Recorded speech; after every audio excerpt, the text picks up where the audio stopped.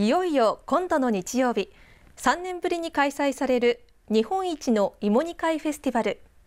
会場となる真見ヶ崎河川敷では今朝早くフェスティバルで使われる大鍋三代目鍋太郎の大移動が行われました。まだ夜が明けきらない午前5時半。今鍋が持ち上がりました。直径6.5メートル重さおよそ4トンと日本一の大きさを誇る三代目鍋太郎。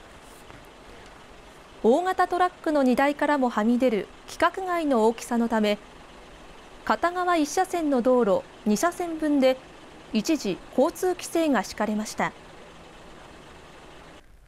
取材をしていると早朝にもかかわらず沿道には子どもの姿が。今朝は何を見に来られたんですか？鍋。鍋を釣り上げるとこ見ました。見に来ました。芋煮フェスティバルの会場まで直線距離で100メートルほどしか離れていないのですが巨大な鍋太郎を移動させるためクレーンで吊り上げトラックに乗せるという作業を繰り返すこと4回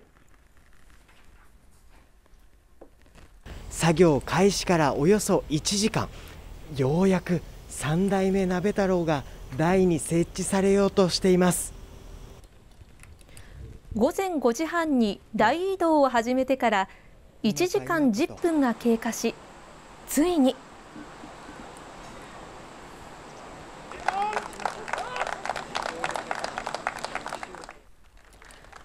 台の上に鍋太郎が設置されると歓声や拍手が起こりました。鍋太郎が設置される瞬間を目の当たりにした先ほどの少年に感想を聞いてみると